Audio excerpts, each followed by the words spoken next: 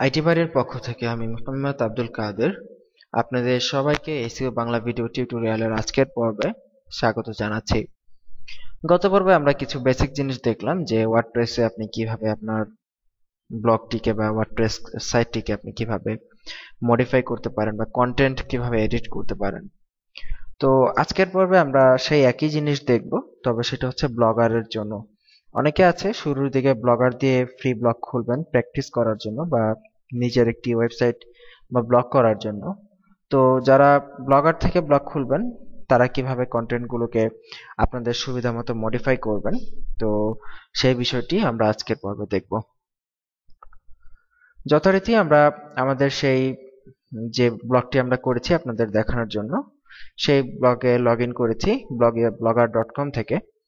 তো এখান থেকে আমরা জাস্ট পোস্টে ক্লিক করছি। এখান থেকে জাস্ট একটি নিউ পোস্ট নিয়ে নিচ্ছি, যাতে করে আমরা আপনাদেরকে দেখাতে পারি। সো আমরা এখান থেকে লরাম ইপসাম ডট নেট এখানে চলে যাচ্ছি। আর এটা হচ্ছে আমাদের পোস্ট টাইটেল আপনারা জানেন যে পোস্টের টাইটেল ওয়ার্ডপ্রেস পর্ব অবশ্য টাইটেলই দেওয়া হয় নাই। তো টাইটেল তো আর এডিট করার কিছু নাই সো টাইটেলটা তো টাইটেলের মতোই। আমরা এখানে জাস্ট কিছু টেক্সট দিয়ে দিচ্ছি। একটু জুম করলাম পেজটা আপনাদের দেখান, আপনারা যাতে দেখতে সুবিধা অনেক ছোট লেখা অ্যাকচুয়ালি সো দেখুন, ঠিক একইভাবে আমরা যদি চাই যে কোনো পার্টকে আর ওই ঠিক ওয়ার্ডপ্রেসের মতোই কিন্তু এখানেও দুটা ভিজুয়াল এডিটর আছে। একটা হচ্ছে কম্পোজ অপশন এটা হচ্ছে ভিজুয়াল যেটা আমরা দেখব আউটপুটে যেটা দেখা যাবে। আর আরেকটা হচ্ছে এইচটিএমএল অপশন এটা হচ্ছে কোড ব্যাকগ্রাউন্ডে কোডগুলো অটোমেটিক তৈরি হয়ে যাবে। তো যেহেতু আমরা এইচটিএমএল জানি না বা এইচটিএমএল অনেকেই জানি না সো এই ক্ষেত্রে এইচটিএমএলটা আমরা দেখব না। আমরা কম্পোজ মোডটা ব্যবহার করে কোনো রকম কোডিং নলেজ কোডিং নলেজ ছাড়াই আমরা আমাদের কন্টেন্টগুলোকে আমাদের সুবিধা মতো মডিফাই করতে পারি। ধরুন আমাদের এই সাইটটার একটা হেডিং দিতে হবে হেডিং হ্যাঁ? ঠিক আগেরটার মতোই ধরলাম এইটাকে আমরা হেডিং করতে চাই হেডিং টু সো এখান থেকে দেখুন, এখানে এই আইকনে ক্লিক করে হেডিং সিলেক্ট করবে হেডিং হেডিং দিলে দেখুন, এটা অটোমেটিক হেডিং হয়ে গেছে। ঠিক আছে? তো, এখানে আসলে ব্লগারে একটু অন্যরকম, পুরোপুরি হুবহু ওয়ার্ডপ্রেসের মতো না। তো, এটা হেডিং কিন্তু আমাদের এই হেডিংটা এখানে হয়ে গেছে। তো আমরা ওয়ার্ডপ্রেসে দেখেছি heading one two three four ইত্যাদি বিভিন্ন জিনিস দেওয়ার অপশন আছে, কিন্তু এখানে কিন্তু সেটা নাই। এখানে এখানে হেডিং দেওয়ার option sub heading minor heading normal sub heading দিলে এটা আরেকটু ছোট হয়ে যাবে। মানে হেডিং এর থেকে সাব হেডিং বা হেডিং থ্রি সম্ভবত হবে এটা, আমি শিওর না। এখান থেকে দেখি হ্যাঁ হেডিং থ্রি হয়েছে, এখানে দেখা যাচ্ছে হেডিং থ্রি যাই হোক এইচটিএমএল না বুঝলে এটা বুঝবেন না, যাই হোক। এখানে যদি আমরা ব্লক করে কোনো অংশকে হেডিং সিলেক্ট করি, তাহলে হেডিং টু হতে পারে। আর যদি কোনো অংশকে এখানে সাব হেডিং সিলেক্ট করি, তাহলে হেডিং থ্রি হতে পারে। ঠিক আছে? তো যাই হোক, আমরা আমরা যে পার্টটাকে হেডিং করতে চাই জাস্ট এখান থেকে হেডিং এ ক্লিক করে দেব। ওকে? তো ঠিক একইভাবে আমরা যদি কোনো অংশকে চাই বোল্ড করতে, ধরেন এতটুকু আমরা বোল্ড করব। এটাকে ব্লক করে জাস্ট বি আইকনটাতে ক্লিক করে দেব। বোল্ড হয়ে যাবে। ঠিক একইভাবে যদি ইটালিক করতে চাই আই আইকনটাতে ক্লিক করব ইটালিক হয়ে যাবে। বা বোল্ড করা অংশকে যদি আমরা ইটালিক করতে চাই, তাহলে জাস্ট বোল্ড করা অংশটুকুকে এভাবে সিলেক্ট করে আমরা আইতে ক্লিক করব ইটালিক হয়ে যাবে। যদি কোনো অংশের আন্ডারলাইন করতে চাই, সেই অংশটুকুকে এভাবে সিলেক্ট করে ইউতে ক্লিক করব আন্ডারলাইন যদি কোনো টেক্সটকে কাটতে চাই কাটতে চাই, সেক্ষেত্রে এইভাবে সেটাকে সিলেক্ট করে, এই যে, এখানে দেখা যাচ্ছে যে স্ট্রাইক থ্রো এটাতে ক্লিক করব। টেক্সটটা কাটা হয়ে যাবে। যদি কোনো অংশকে কালার চেঞ্জ করতে চাই, লাল করতে চাই, সেক্ষেত্রে এইভাবে ব্লক করে, এই যে এখান থেকে আমরা টেক্সট কালার লাল, নীল, যেটাই হোক না কেন আমরা আমাদের সুবিধা মতো একটা সিলেক্ট করে দিতে পারি। দেখুন, সেটা লাল হয়ে যাবে। যদি চাই কোনো অংশকে মার্কিং করতে মার্কিং ব্যাকগ্রাউন্ড কালার হবে, সেক্ষেত্রে এই আইকনে ক্লিক করে যদি আমরা হলুদ দিই, দেখব মার্কারের মতো এই পার্টটা এখানে মার্কিং হয়ে গেছে। ঠিক একই রকম, অনেকটা একই রকম যদি আবার এখানে ইমেজ আনতে চাই, এখানে ইমেজ আইকনে ক্লিক করে আমরা আমাদের ব্লগের জন্য ইমেজ নিয়ে আসতে পারব।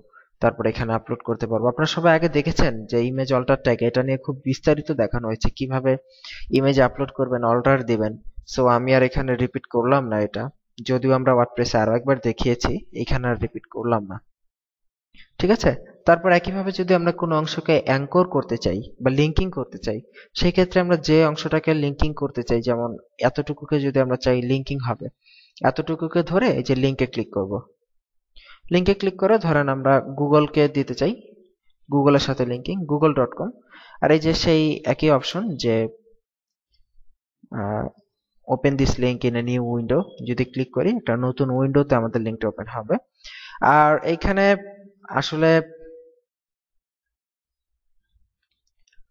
দেখুন, একটি অপশন আছে add relationship no follow attribute এইটা কি আমি এখন বলতে চাচ্ছি না? এটা যখন আমরা অফ পেজ অপটিমাইজেশন শিখব, তখন আমরা ডু ফলো নো ফলো এই জিনিসগুলো কি আমরা শিখব? তখন আপনারা এটা জানতে পারবেন। সো এটা আমি এখন স্কিপ করে গেলাম।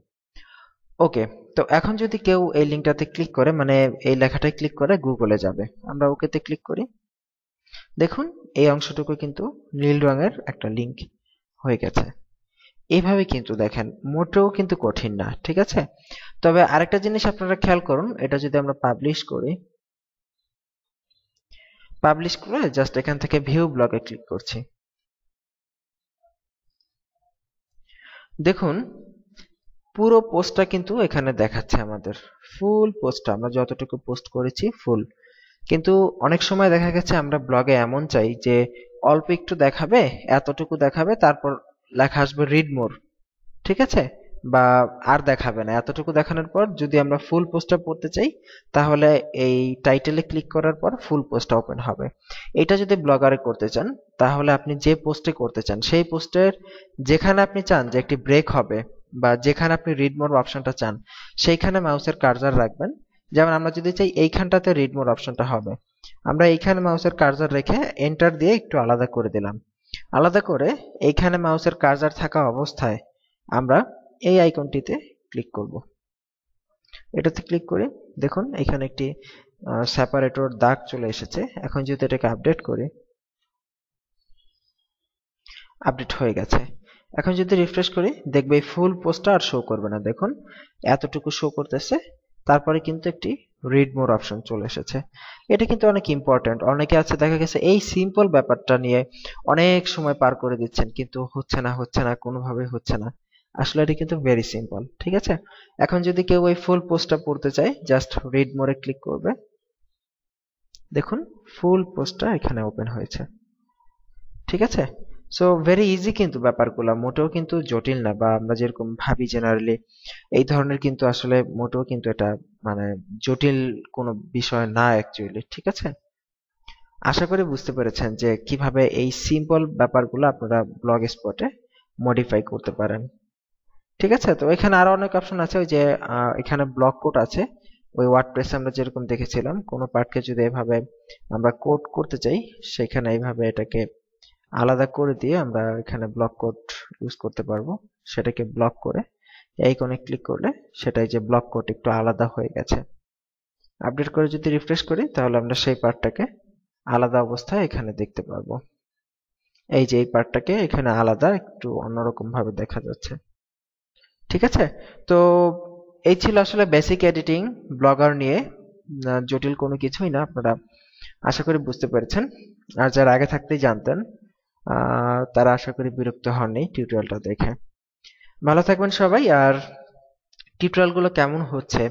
আমাদের নতুন আপডেটেড এসইও টিউটোরিয়ালটা কতটা বেটার কতটা ভালো হয়েছে, সেটা আমাদেরকে জানাতে ভুলবেন না আইটিবাড়ি ডট কমে গিয়ে আমাদেরকে জানাতে পারেন, অথবা আমাকে সরাসরি ফেসবুকে মেসেজ করে জানাতে পারেন। আপনাদের প্রতিটি ফিডব্যাক আমরা সব সময় চাই এবং আপনার যে কোনো ধরনের মন্তব্য আমাদের কাছে সাদরে গ্রহণযোগ্য। ভালো থাকবেন সবাই সুস্থ থাকবেন। আগামী পর্বের আমন্ত্রণ রইল। আল্লাহ হাফিজ।